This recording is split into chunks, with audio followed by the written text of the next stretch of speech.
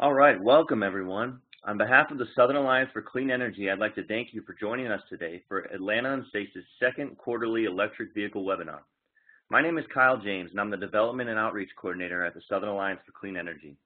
For those of you not familiar with the Southern Alliance for Clean Energy, we are a nonprofit organization that promotes responsible energy choices that work to address the impacts of global climate change and ensure clean, safe, and healthy communities throughout the Southeast. We are a membership organization and we would like to acknowledge our members on this call and encourage those of you who are not members to please join us today. For ways in which you can become a member and get involved, please visit our website at www.cleanenergy.org. Now I'd like to take a moment to review the basic functions of the WebEx control panel on the right-hand side of your screen. To ensure sound quality, your attendees will all be muted throughout this presentation. So go ahead and find the three buttons along the top of your screen. And if you're having any trouble hearing or seeing the slides, click the blue chat button and type in your problem so I can help you. We do have time at the end of this presentation to answer any questions about today's topic. So to ask a question, click the question mark button along the top of your screen. Make sure all panelists is showing up in the drop-down menu, then type your question into the questions text box. We will do our best to answer the questions in the order that we receive them. And with that, I would like to turn it over to our program Officer Anne Blair, the Director for the Clean Fuels for the Southern Alliance for Clean Energy. Anne?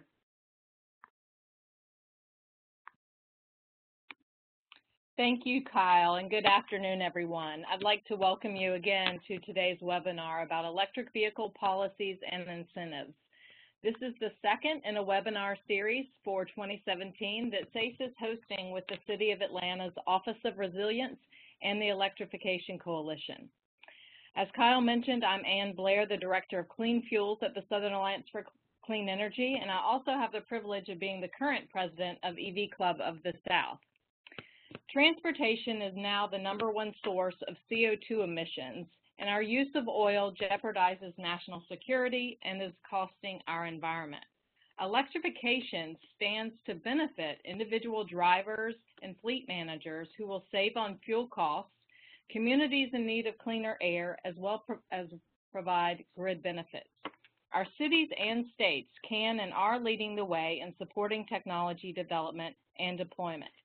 Today, we will begin by taking a local, state, and federal approach, highlighting case studies and opportunities ahead for EV policy. Here is an overview of our agenda today. I can get the slide up. Apologies.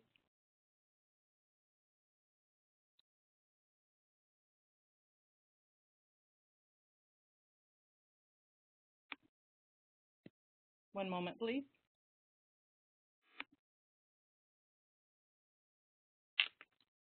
Kyle, could you check the advancement of the slides, please? Yeah, if you want to go ahead and just give me back the presenter duties, I can do that for you.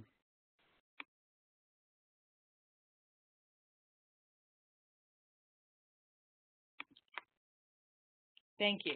So here's an overview of our agenda today. We're going to start with introductions, followed by an overview of respective EV programs and initiatives. Uh, Justin is going to talk about the City of Atlanta's EV policies. Then I'm going to do an overview of Georgia's story our current EV policies, and our his historical look. Then we're going to talk about federal, the federal tax incentive for EVs, followed by some case studies from Colorado and the Group Buy Accelerator communities. Last, we'll close with uh, and open it up for questions. Next slide, please. So today we have three presenters, Justin Breitharp with the City of Atlanta and Electrification Coalition, myself, with the Southern Alliance for Clean Energy, and Natalia Swalnick with the Electrification Coalition. Great. Next slide, please. So first up, we have Justin Breitharp. He's with the City of Atlanta's Office of Resilience. He's a graduate of Georgia State University and has been with the Electrification Coalition and the City of Atlanta since last year. Justin. Thank you, Anne, for that introduction. Um, so as Anne mentioned, I'm Justin Breitharp with the Mayor's Office of Resilience, and part of my, and I'm the Alternative Fuel vehicle technical advisor. So part of my job is to manage the city's um, fleet of uh, alternative fuel vehicles as well as some policy initiatives. So just to give you some background of over the city of Atlanta, we currently have 65 electric vehicles in our municipal fleet, which makes us the largest municipal electric vehicle fleet in the state of Georgia. We currently have 42 level 1 and 2 charging stations with throughout the city limits, and six of those will be available for public use, and those will be coming online in the next couple of weeks. And so, um, and actually that bottom right picture will, is some examples of the uh, electric charging stations that are used by the city vehicles as well as the public. And so um, how this all came to be was the Electrification Coalition in the city of Atlanta formed an MOU where the Electrification Coalition provides policy and technical support for electric vehicles, among other alternative fuel vehicles, and also how my position came to be.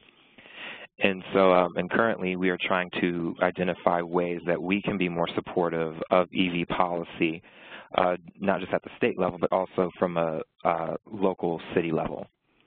And so, uh, Kyle, if you go to the next slide, please. So one of the ways that um, we did that, or we're trying to do that, is an EV-ready ordinance. So what that is, is we are trying to amend the electrical code where we will require new commercial construction to install conduit for future, future electric vehicle charging stations. And so uh, commercial, build, commercial construction usually includes office buildings, retail, and multifamily housing. Um, we thought best to um, target this um, this type of community first and then explore uh, residential and industrial in the future. But currently we are looking at a requirement of 8% of our parking spaces to um, be for electric vehicles. So if you look at the chart below, this is what we are trying to use. So if you have, say, five to nine parking spaces, we, we would require that one be available for an electric vehicle charging station.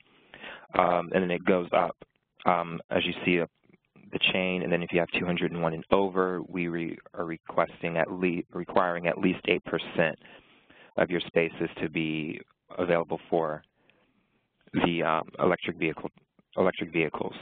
But we, this has been shown to uh, encourage more public adoption. We are looking at some examples from northern Colorado as well as um, San Francisco with their EV-ready ordinances. And then, um, excuse me, just to make sure. And then uh, I think 8% is the most that we've seen. So, um, but it's shown that also when you install these and before, uh, during construction, it reduces the upfront cost. And so um, we're also trying to show this from a cost perspective, and, um, and more details we'll be sharing to come. At the time, we're hoping to get this done within the fall of this year. And so just some other um, incentives and uh, that are going on from the private sector and utility sector.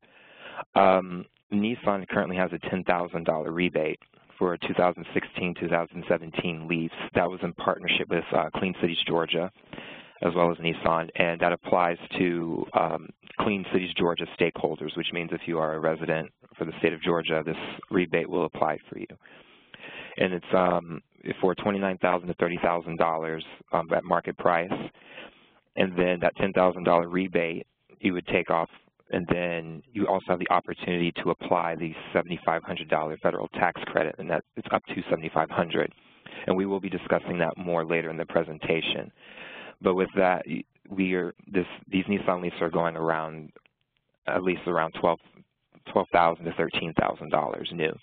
And that has been extended to September 30th of this year. And so hopefully this will um, we'll see more electric vehicles coming into the um, market. And as we do see that, um, we as the City of Atlanta want to make sure that we are being supportive with infrastructure as well as EV-friendly policies. And then on the utility side, our Georgia Power, which is our electric utility, currently has rebates. So we have a, uh, there's a $250 rebate for residential home charging stations. So if a resident decides to install one in their home, they'll get $250 back.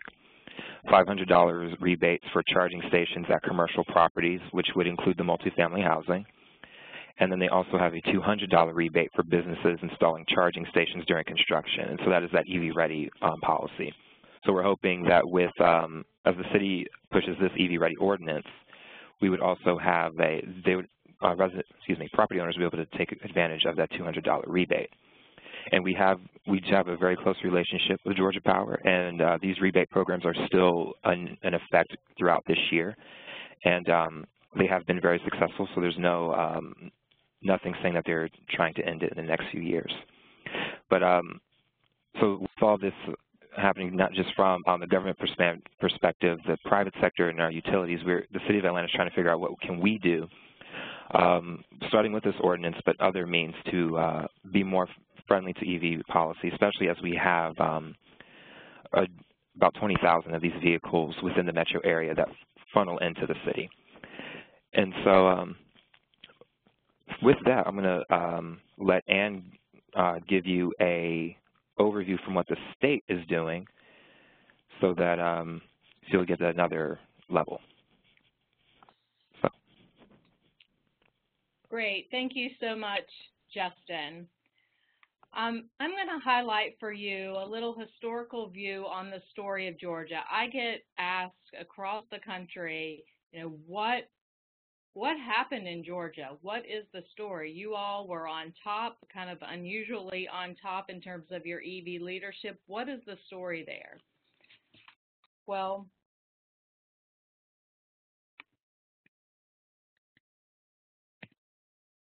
these were the headlines we were seeing just a couple years ago in 2015. Georgia was ranked as the number one market for the Nissan Leaf and we were ranked second in the nation for the number of EVs registered, just behind California. At the peak, Georgia was selling nearly uh, 1,500 vehicles a month, and we became one of the fastest growing markets in the U.S. So how or why did this happen? Well, first, in early 2000s, an electric vehicle tax credit which was called the Zero Emissions Vehicle Tax Credit, or the ZEV tax credit, was passed. Uh, it was originally just a few thousand dollars, and then it was increased in the early 2000s to $5,000. The tax credit is available to be taken over five years and was eligible to uh, be taken on both the purchase and the lease of vehicles. And so there were three things that made this really work in Georgia.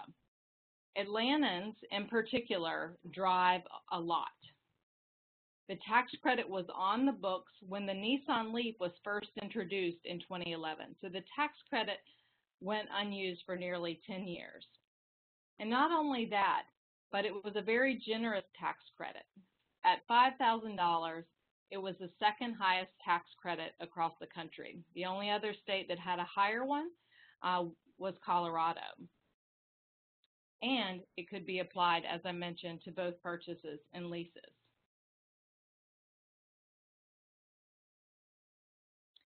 So this is a pretty old graphic, but I think it's a great one in terms of illustrating the impact of that tax credit on electric car sales. During the time period between 2011, when the Nissan Leaf first came out, and 2015, electric car sales skyrocketed. And in a single year, from March 2013 to March 2014, there was a 614% growth in EVs. And during that whole time, Georgia drivers bought more than 20,000 EVs. But with this growth, growth brought a lot of angst among legislators. The state was distributing millions of dollars annually, and this raised um, their attention, and folks wanted to take a look at it and, and see what the impact was to Georgia and if, if some changes needed to be made now that EVs were truly available across the state. So here's a little historical view.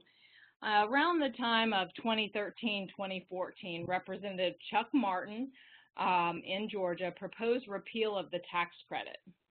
Uh, fortunately, though, um, a, a, coalition of groups worked together and were able to hold off repeal for a couple of years. Some of the concerns that a lot of the legislators were expressing uh, were that the tax credit was primarily for progressives, for the rich, it was a Tesla tax credit, and then on the other hand, it was a Nissan incentive, and that the state was giving away cars, and that just wasn't fair to everyone. Um, and at EVs, not only was that the case, but also they thought that EVs um, should pay their fair share of the impact on the road now that there were some 20,000 uh, vehicles on the road. Um, and as I mentioned, fortunately, we were able to hold that off for a couple years. And then in 2015, uh, Chuck Martin again proposed a bill to repeal the credit. At the same time, uh, Georgia was working very hard on a new transportation bill for the state, and this was House Bill 170. And this bill was a big priority for the governor to get it passed. Um, but throughout the process of uh, the bill, the elimination of the tax credit got added. In addition to the tax credit being zeroed out as a part of that bill, a new $200 user fee was also added. So EV drivers would now have to pay uh, a user fee uh, if they owned an all battery electric um, vehicle. It did not solely apply to the plug-in hybrid electric vehicles, but to battery electric ones. Unfortunately, uh, this was not an issue that many, because it was such a small component of this larger bill, it wasn't something that um, many of our legislators really wanted to go to bat and risk their support for the transportation bill to get it changed. And so, um, as many of you know, Georgia's tax credit was repealed and a new $200 user fee was added. In the following year, uh, in 2016, however, uh, an alternative fuel study committee was passed to take a look at what the impact had been since the repeal of the tax credit. Uh, the study committee did meet four times um, across the state, but there was not a final hearing uh, report that was ultimately done, and no uh, formal recommendations were ultimately adopted. Um, so we were disappointed not to see uh, additional action from, uh, from the General Assembly on this issue. Just this past year, um, a few new bills were introduced, one of which was House Bill 316, which would reduce the user fee uh, from $200 down to a lower amount of $100. Unfortunately, that was not heard either, um, but this year was the first of a two-year session, so that, uh, that bill still is in play for next year. Additionally, um, at the end of the session, Representative Allen Peake um, held a subcommittee a Ways and Means Subcommittee hearing on uh, the opportunity for a new vehicle tax credit. Uh, the rate of that would be 2500 It was a very good hearing, uh, but no action was taken on any EV bills.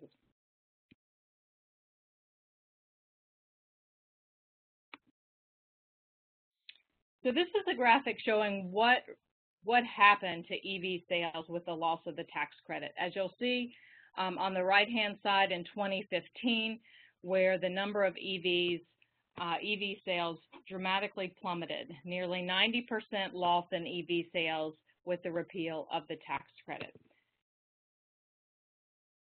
This is another graphic demonstrating that drop. Uh, this is based on the RL Polk data. Um, and again, similar to the previous slide, it shows the significant drop off in EV sales based on the loss of the tax credit. So as you can see, there's a direct connection between EV incentives that offered and EV sales. The other piece I want to highlight for you um, is the impact of user fees. Uh, the adoption of user fees is a growing trend across the country to make up for lost revenue of declining gas tax revenue. Unfortunately, this means that electric vehicles are getting double taxed.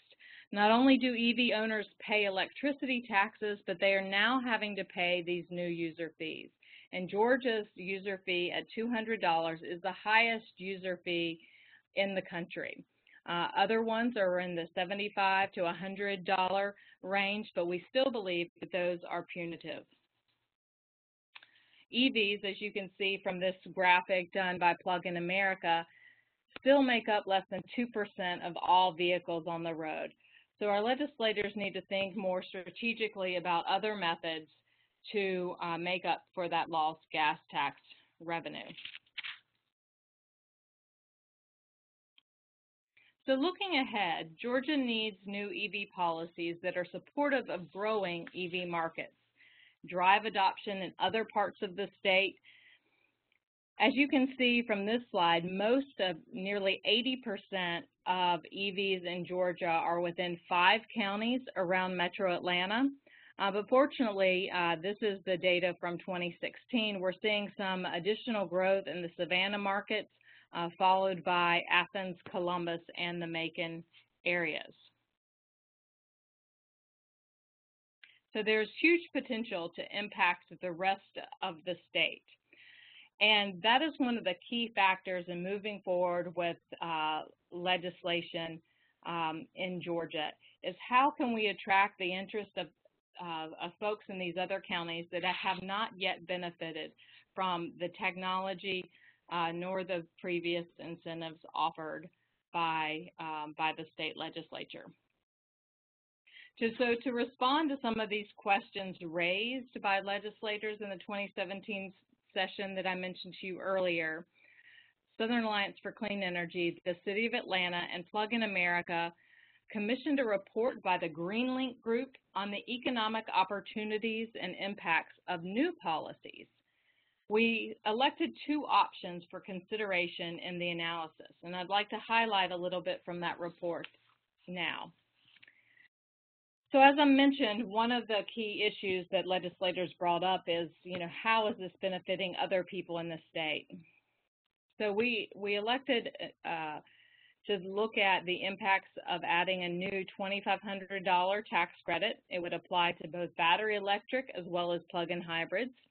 It would be limited to sales, uh, not leases, and one vehicle per person. There would be a cap and a five-year sunset on the bill. Also, uh, what would the impact of reduced user fee from $200 to $50 annually? What we found uh, from the analysis is that with the adoption of those policies, Georgia stands to benefit um, by increased income, nearly $54 million in increased income to the state. That's keeping the money in the state rather than sending it out for oil. Nearly 1,000 full-time jobs would be created and a $100 million gain in Georgia's GDP. And this would get people in the cars and they're able to use money for other purposes.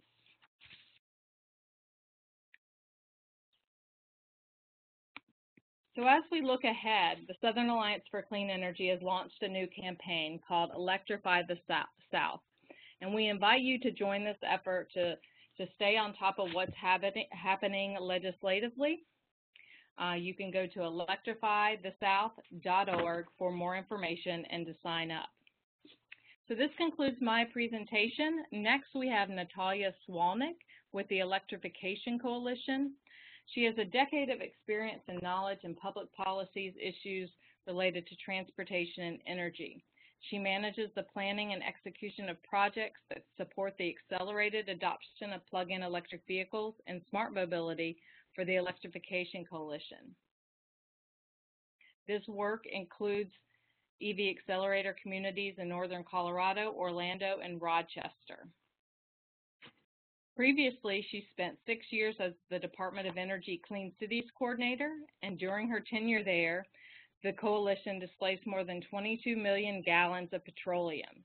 She earned her Master's of Public Administration degree in 2007 from the University of Colorado at Denver and completed her bachelor's degree at Syracuse University. So welcome, Natalia. Thank you. Um, I appreciate the opportunity to present to you all today and uh, look forward to sharing some information about what the Electrification Coalition is doing in terms of policy and deployment work across the country. So in case you are not familiar with the Electrification Coalition, we are a nonpartisan, not-for-profit group of business leaders committed to promoting policies and actions that facilitate the deployment of electric vehicles on a mass scale. That's really what's guiding all of the work that we do. Um, and so that feeds into uh, policy happening at the federal level. And um, so one thing I wanted to share with folks is information about our federal electric vehicle tax credit. And um, it's for relatively newer vehicles, uh, vehicles that entered the market after 123109.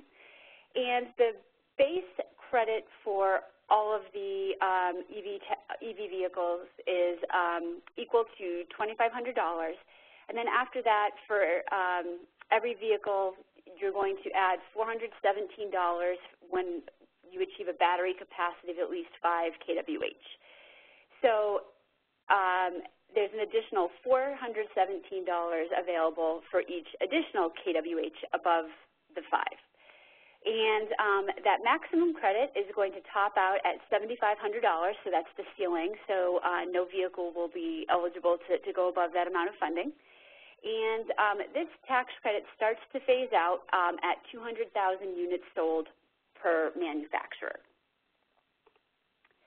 So if you take a look at um, the example tax credits uh, by vehicle for uh, model year 2017, you can see that there's a direct correlation, um, as I described, between the battery capacity and the, and the full credit that one can receive for the electric vehicle. So um, if you look, um, the, the smaller uh, battery size has a smaller associated tax credit. And then um, many of the larger vehicles, larger battery capacity vehicles, um, even though you're seeing a range from um, 16 kWh all the way up to 33, that tax credit, you know, you come up against that ceiling of $7,500. Um, so it's, it, it can be um, a, a bit of a complex tax formula. There, there is some math involved, but um, this is just an example sheet that helps quantify some of the, the more common vehicles on the market, um, although it's certainly not an all-inclusive list. Um, so you can get an idea of how the battery capacity plays into the amount of tax credit available. So um, I'm actually based in, in uh, the Denver, Colorado area, and we thought that it would be a good idea to share some information about the tax credits in Colorado so that you could get a sense of um, how they're structured here using um, a simpler tax uh, uh, equation. So what the tax credits are called here is the, the innovative, innovative motor vehicle tax credits. And um, although the tax credits are not new in Colorado, uh, we did pass a new bill, House Bill um, 1332 in, in the year 2016. And what this did is we created a fixed flat tax credit, which replaced a complicated calculation like the one that, that I just attempted to explain to you at the, at the federal level. And not only did it replace, um, you know, a battery-based, math-based equation with something that's flat and relatively uncomplicated to determine, it also um, made the tax credits assignable to financing companies at the point of sale. So instead of purchasing a vehicle in uh, August and then waiting um, until you filed your taxes the following year um, and, and, having to wait to redeem that credit. These um, are, again, available at the point of sale so the consumers are able to kind of get that instant gratification and, and our, in our on-demand world um, that seems relatively popular. So um, the tax credits are available to both purchase and lease new vehicles. Um, and they came, this new uh, point of sale flat tax structure came into play um, at the beginning of this year, January 1st, and um, the legislation, unless it's you know repealed, uh, will go through the end of the calendar year in 2021. So to give you a sense of how the tax credits are structured, um, there's, there's two ways that you can look at this. If you look at it across the top line, you can um, see that the tax credits are scheduled to uh, decrease over time until they are sunsetted entirely at the end of 2021. So when you look at the first three years of the applicable period for the legislation, you can see that light-duty passenger vehicles are currently available uh, for a $5,000 tax credit. Um, so that goes for new purchase vehicles as well as vehicle conversions. And then when you um, are considering a leased vehicle, there is um, a smaller tax credit available there for $2,500. And then when you go out to the year 2020, they decrease down to $4,000 um, and $2,000 for new and leased vehicles uh, respectively.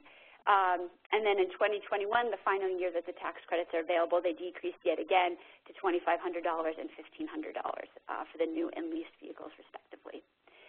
Um, and then if you look down um, at the different uh, sections of this chart, you can also see that um, they, the, the um, authors behind this tax credit legislation are looking to and kind of right size the incentives um, that are offered based on the size um, and, and, the duty cycle of the vehicle class.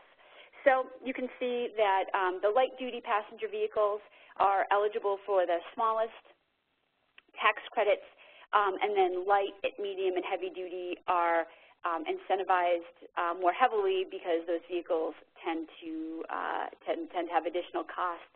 The battery pack would likely be be larger, et cetera. So uh, the Electrification Coalition is involved in tax policy, um, and we are actively tracking um, some of the tax policy that is uh, happening or, or, rumored to be happening at the federal level, um, and it's um, you know something that um, we're we're looking into to see if those tax credits are going to be carried forward at the federal level or if there's talk um, about not continuing those on. And so we are uh, figuring out what our strategy is going to be should that occur. And um, if you're interested in working with us, my contact information is at the end of the presentation. And um, should that happen, um, we'll be moving forward on that and, and you know, look forward to uh, working with a larger coalition to make sure that those tax credits remain in place and, and, and continue to help incentivize the marketplace. But aside from policy, there are a lot of ways that um, greater numbers of electric vehicles can be deployed um, in communities. And so I wanted to uh, inform you about some of the work that we're doing through our EV accelerator communities, and we have them in northern Colorado, Orlando, Florida, and Rochester, New York. And what the Electrification Coalition does is we work in a concentrated geographic region and really work to attack the entire EV ecosystem at once. And so if you look at this slide, you can kind of see that there, there's a lot of ways to hit um, communities and, and, make sure that stakeholders from across the spectrum are getting involved. So the EC is what the electrification, that's what we call ourselves, will do is work with employers, um, both private and public, in a market and help to um, get employers working on a workplace charging program um, and that can include um, information on how to install charging infrastructure to surveying workers to determine if there's a need, um, all the way to signage. Um, we also work on group buy programs, which is a way of us working with um, OEMs and um, dealerships to offer vehicles for a discounted rate, um, capitalizing on the tax credits and other incentives that um, the automakers will, will put in place to help drive traffic to a particular dealership to help um, bring down the cost so it, for a set period of time so that it, um, there's an acceleration of vehicles sold in that area.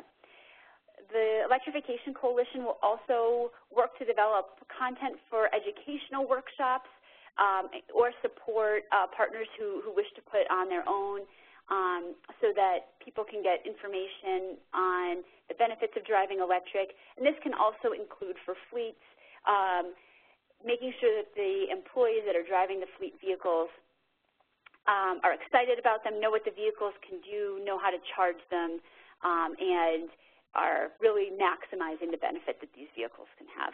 As I touched on, we work on local policies and incentives. Um, we're also working with light-duty TNC, um, which is, you know, your Uber, your Lyft, et cetera, taxi or, or public fleet electrification, so helping to get um, electric vehicles installed um, within these vehicle fleets that are already driving quite a bit of mileage, but you know, making the transition over to electric. Um, we also work with dealerships and OEMs to increase dealer inventory in a region. This is important because um, it's, it's really hard to be a leader in the um, electric vehicle market if um, someone only has a few EVs on their lot. Um, that doesn't really motivate dealer, uh, the, the sales folks to sell them, and um, it also you know, doesn't send the message that, you know, we're, we're open for business and we're selling electric vehicles. So we'll, we'll help um, with that partnership and making sure that there's a, there's a great deal of selection that are going to get drivers excited about, about driving electric. The Drive Leadership Program is a way to get um, C-level um, executives into an electric vehicle um, with, with um, kind of an extended test drive. So if you think of these last two things as, as working in tandem, Drive leadership um, is a way to get someone behind an electric vehicle, uh, the wheels of an electric vehicle for about a week so they can learn, um, what, you know, get, get over the range anxiety so they can learn how to charge it. They can see how easy and convenient it is to charge at home. And the output of that would be that they could either choose an electric vehicle as a company perk um, if they, you know, get an, an executive vehicle. They could also um, begin working on a workplace charging program for, for others at their company, or perhaps they could put electric vehicles um, into their fleet so that uh, they can be used for, for company purposes. So um, just a close-up on that um, in our different communities. So Drive Electric Northern Colorado was the EC's flagship program. It was the first of its kind initiative which was designed to achieve widespread adoption of EVs in the northern Colorado region. So the two cities that we worked with there were the city of Loveland and the city of Fort Collins. And um, the program was incredibly successful. Um, it, sales in that region have outpaced the national average by a factor of, of two to three times. Um, and we are currently engaged in this community but have since transitioned primary ownership of the program over to the stakeholders in the region um, and they are working on, um, you know, they, they have a group of EV enthusiasts that are working on events for National Drive Electric Week. They're working on ride and drive events. They, they hold monthly enthusiast meetings. And then the cities in that region um, have electric vehicles in their fleet, and they continue to manage electric vehicle ambassador programs for their, for their teams. Drive Electric Orlando is a bit different, but um, same same theme. And what we're trying to do there is leveraging is to leverage um, our top tourism destination in the country and the rental car market as an opportunity to, opportunity to expose the millions of visitors to Orlando every year to electric vehicles, turning renters into buy, buyers. And um, this is done by promoting electric vehicles as a rental option to folks uh, renting through Enterprise. Um, and this is um, results in some really high exposure numbers. Um, even if customers do not actually rent an electric vehicle, more than 60 million visitors to the rental car site through the duration of the program have seen that electric vehicles are here, they're, they're part of this fleet, and you can get one when you go to Orlando. And um, they have charging at 35 hotels locally in theme parks as well, which results in some premier parking. And if you've ever been to any of these attractions, you know that um, uh, the parking situation can, can be half the battle, and so uh, electric vehicles uh, get, get perks such as, as parking closer and um, other experiences that, that money, money can't buy um, by visiting the Epcot test track and uh, getting the clear path and um, really selling the entire experience as kind of uh, these uh, electric vehicle perks. And the Rochester EV Accelerator is our uh, newest community that we're involved in. So our vision there is to create a model that's both scalable and replicable to other areas by attacking this EV ecosystem. And uh, by way of that, we're strengthening the regional economy, decreasing dependence on oil while also improving the environment. And um, the partners that we're working with there are um, NYSERDA, which is the New York State Energy Office, um, the local Clean Cities chapter, which is the Genesee Region Clean Communities, the City of Rochester, and then Energetics Incorporated. And um, our mission there is to partner to drive, to drive rapid adoption of EVs to leading levels among mainstream communities and industry throughout the Rochester, New York region. so with that, I will uh, transition um, ownership back over to Anne to uh, take uh, to summarize the presentation and, and handle questions.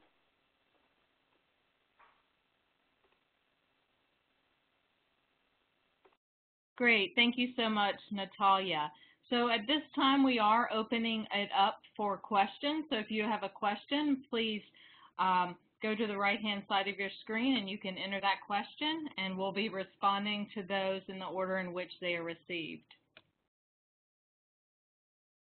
Uh, the first uh, question, which I believe most uh, participants have I've seen a response to, is will this presentation be sent out after the WebEx? And yes, and there will be a recording that is available um, to you all to, to listen to at another time or share with folks who may be interested in listening.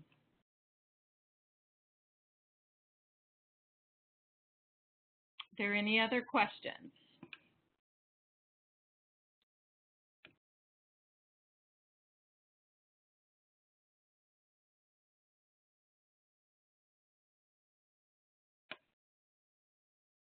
All right. Um, so we're going to start. What are the perceived roles of utilities like Georgia Power and cities in the recent Volkswagen Environmental Mitigation Trust? So to respond to that, um, I think there's a role for uh, utilities and um, a significant role, in fact, in deploying electric vehicle charging infrastructure.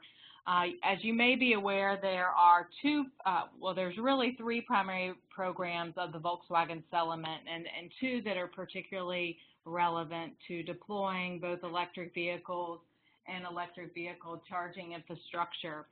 Um, one is Appendix C, which is the zero emissions um, program that uh, Volkswagen will actually be distributing and they will be installing charging infrastructure. Um, they have selected the recipients of their first 30-month cycle of funding for that program.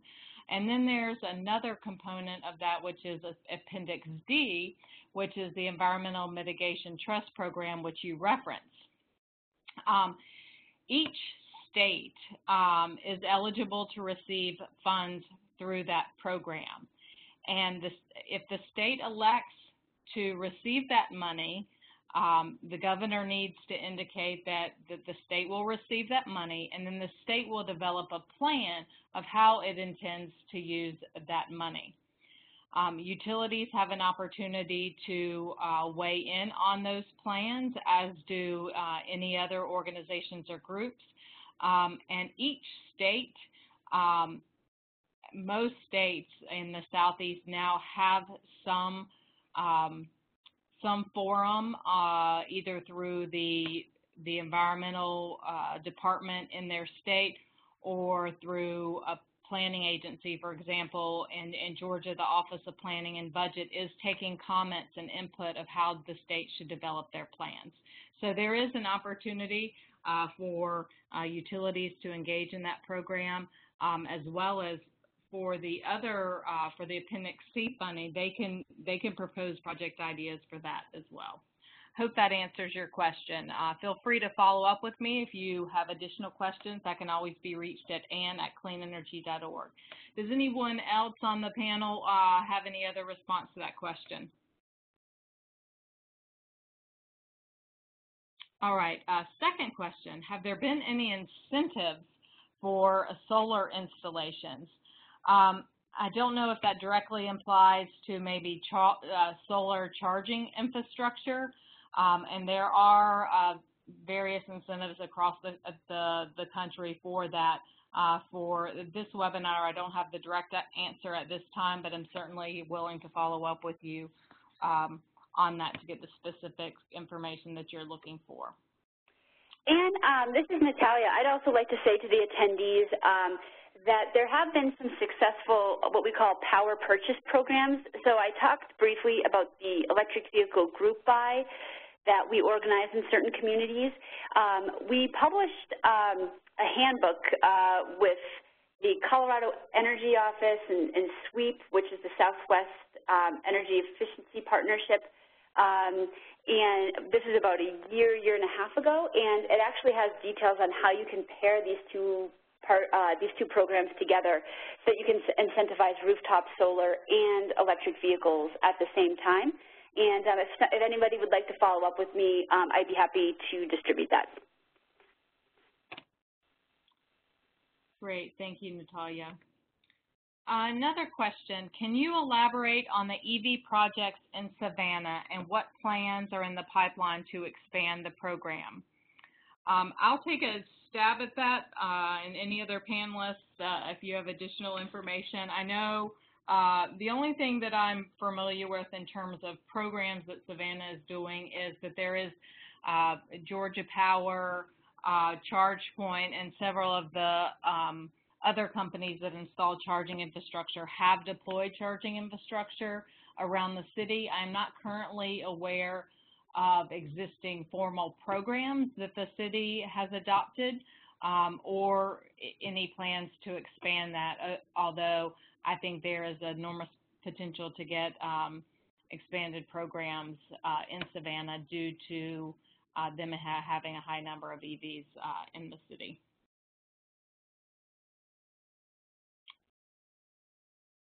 Another question, is there a solar PV install component of Electrify the South? Uh, for that campaign, it is primarily focused on transportation, but of course, uh, increasing the benefits of EVs, making EVs cleaner will require increased uh, renewable energy deployment, and Southern Alliance for Clean Energy does have a program um, that is focused on expanding solar throughout the Southeast. Um, and so those two programs sort of you know work together, but there's not uh, an, an, overall uh, PV component of Electrify the South campaign. All right, next question. Have there been any efforts to promote EVs through city-county comprehensive plan policies other than tax incentives? There, there have been a, a, few examples of that around the country in which cities and counties have adopted goals for um, the number of EVs that they would like to see um, adopted by a certain time frame. Uh, Justin or Natalia may want to share some of those other examples.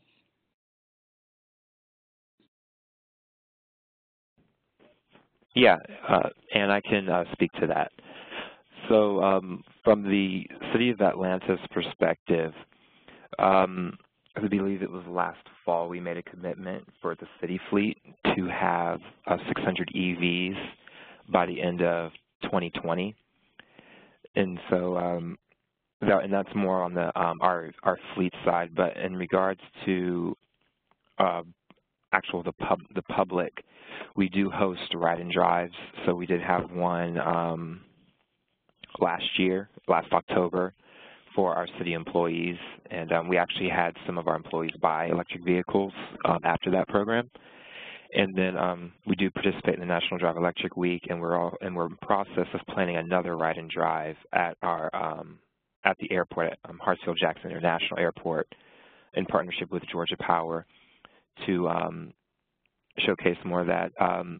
We've been told, we've seen and we've been told that getting butts in seats is the best way to kind of expose people to electric vehicles. And then um, another program that the City of Atlanta is currently trying to flesh out, we're in talking with some nonprofit partners right now, is developing an EV car share program on our west and south side of our city to encourage more electric vehicles and charging stations on that side we want to expose the um, the rest of the city to this um, as this emerg to this emerging technology, especially as it's um, more models are coming out in the new in the few years. So as we do push this out for our own fleet, we are trying to figure out ways that we can do this from an education and awareness standpoint. I would also add um, that um, through the Smart Columbus program, um, the Columbus Partnership is working to increase EV market adoption in Columbus and the surrounding um, seven-county region to 1.8% uh, uh, by the end of their three-year grant period, and that's going to represent a 486% increase from their 2015 baseline. Um, and that's that's part of what they're doing through the Smart um, City Challenge, where they were the winner through the USDOT uh, funding.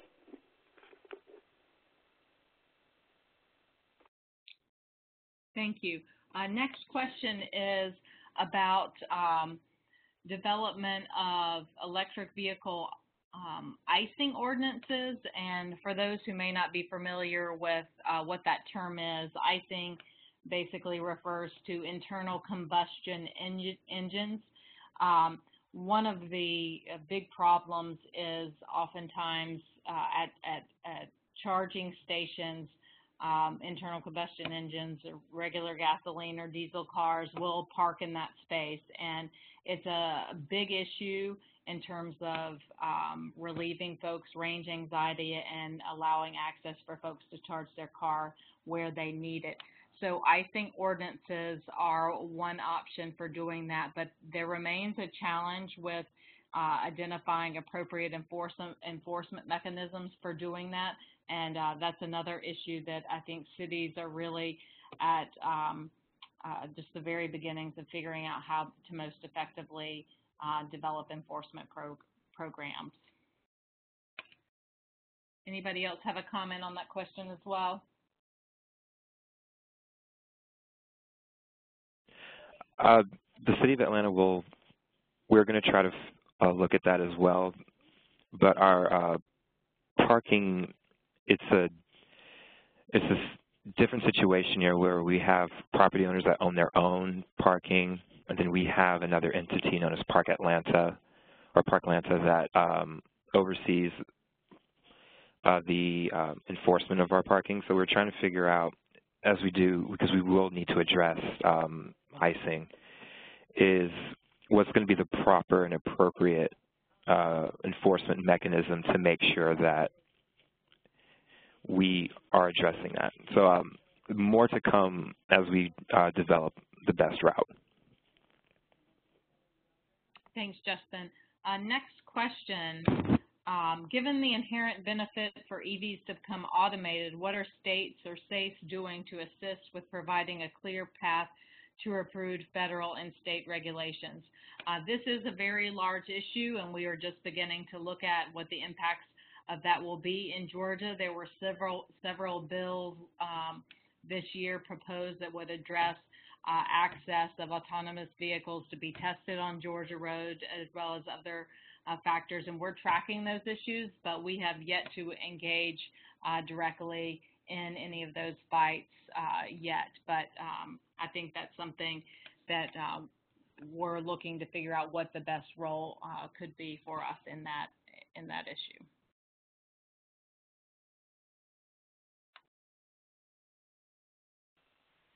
And I would um, just add that the Electrification Coalition is definitely considering, um, you know, autonomous vehicles as part of, you know, this advanced technology class of vehicles and figuring out how autonomous and um, electric um, interact, making sure that they're connected and automated. It's, it's, it's really this whole package. And um, we are also working to avoid really patchwork legislation, um, uh, you know, in, in, municipalities and states um, so that uh, they can be tested and, you know, uh, figuring out what the lessons learned and what the advantages and disadvantages are going to be um, consistently um, across the country. So, and we're also, um, the EC is also working on our strategic plan here coming up at the end of the summer, and I know this is going to be a huge piece of, of what we'll be looking at in the future. Thanks. Uh, next question, um, I, need some clarification on, so if I could ask you to rewrite the question. Uh, there was a question uh, about port expansion. If you uh, could elaborate specifically on that question, uh, we'd be happy to answer it. Uh, next question is, are any of you studying the implications for the electric grid of increased electricity demand as EVs catch on? Uh, the answer to that is absolutely yes, and our utility reform team uh, is, are, is looking at those issues as well as um, our Electrify the South team.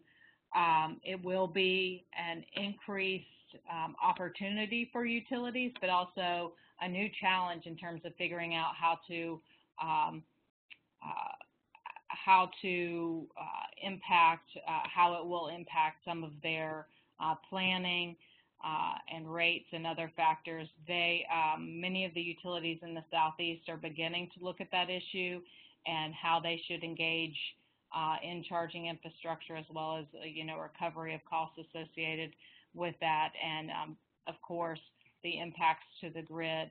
But um, there's a lot of opportunities. For example, in Georgia, there is a time of use rate um, to help um, balance the load of EVs and incentivizing charging at night as opposed to during um, peak hours during the, the late afternoons. Uh, so we are, are doing that. Uh, do others want to comment on that as well? Um, and I can give a uh, the City of Atlanta perspective. With um, in early May, our City Council unanimously adopted a 100% clean energy goal for by 2025 it would be city operations, and then by 2035 it would be all city buildings within the limits. And so as we look at um, adding clean energy, we're looking at ways that we can incorporate electric vehicles in there to assist with that uh, with that supply and demand of energy. And we're working closely with Georgia Power, who is our electric utility. They're all they're over the entire city of Atlanta to figure out what the um, what that's going to look like. And so um, that's still being fleshed out, and uh, hopefully we'll have some more information on that towards the end of the year.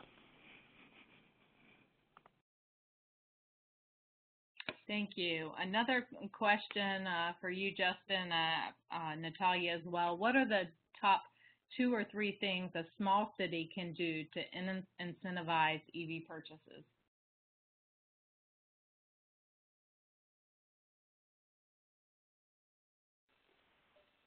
You know, I think top is, is kind of relative in, in a matter of, of, opinion, but I definitely know that there are, are things that a small uh, municipality can do um, it just depends on you know the political will, um, what what's realistic, um, and you know what policies and procedures are already in place to either you know help or, or inhibit the policy.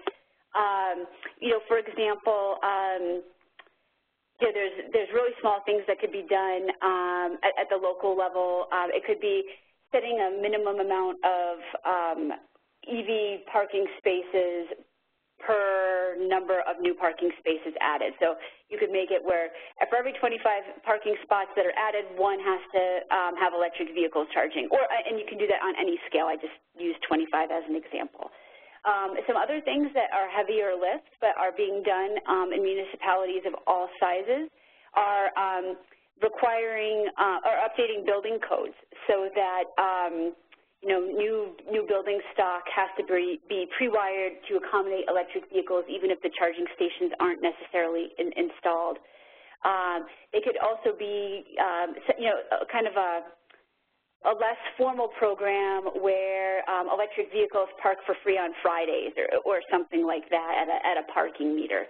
So I think that there's, there's a lot of things that can be done. They're probably too numerous to list, but um, if you'd like to follow up with me at the end, I could I would definitely be happy to share some information um, that the EC has on ways that municipalities can incentivize electric vehicles without um, you know, having to go, you know, there, there's smaller things that can be done without having to go through a city council or like a mayoral signing.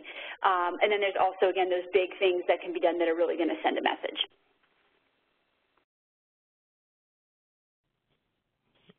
Yeah, I totally agree with uh, Natalia that it will vary from city to city.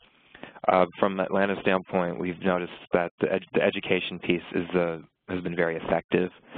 So um, if your city does begin to start saying purchasing electric vehicles for your own fleet, just continuing that education, um, if you use the vehicles for community outreach, um, that tends to be very helpful. And then even your employees, as they drive these for uh, city use, they might even look at purchasing for their own use. And, um, and they could kind of be your um, pioneers for your city.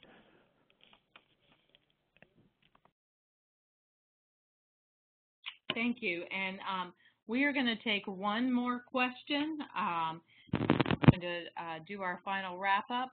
Uh, the question is, how do we deal with garage orphans, people without garages in urban cities. I think this goes to, you know, a multifamily housing uh, question. Does anyone want to respond to that? Um, I, I guess we, oh, oh, go, ahead, Natalia. No, just I'll defer to you. Go ahead. You, you, you're in a municipality. um, so from the city of Atlanta standpoint, we are, that's what we're targeting the multifamily housing as the um, biggest because they're going to have some type of parking. Usually, I believe it's like one space per um, per unit. And so to figure out that, and that's kind of where that EV, or, EV ready ordinance comes in to make sure that um, we can do that. And we're also identifying on-street parking. That's another um, aspect that we can do. Uh, actually, at um, Atlanta City Hall on either side, we have uh, two charging spaces. They're a donation by um, by the Atlanta Falcons, and um, so uh, looking at ways so we can incorporate more on-street parking, uh, multifamily, and then um, so that's kind of how we're trying to uh, encourage more of that, especially as more um, multi multifamily is being built here into the city. Thank you, Justin. Um, there, there are a few other questions that we have not been able to get to today. Um, what I will plan to do is follow up uh, with uh, those folks uh, to respond to the questions. Um, but also feel free to email me directly and I'll do my best to uh, answer the question or find out the answer for you. Uh, feel free to email me at anne, A-N-N-E, at cleanenergy.org. And I want to thank everyone again for joining us today and for your thoughtful questions. I thought they were great. Uh, today's presentation has been recorded and will be available on the webinar archive page of cleanenergy.org. We'll also send you a link to that recording once it has been processed. Sometimes that, that can take a few days, so please be patient. And if you enjoyed today's presentation, please consider joining SACE EV Club of the South or the Electrification Coalition or all three so that we can continue our work towards clean energy solutions in the Southeast and across the country. I uh, thank everyone again for uh, joining us today and don't forget to check out electrifythesouth.org. Thank you.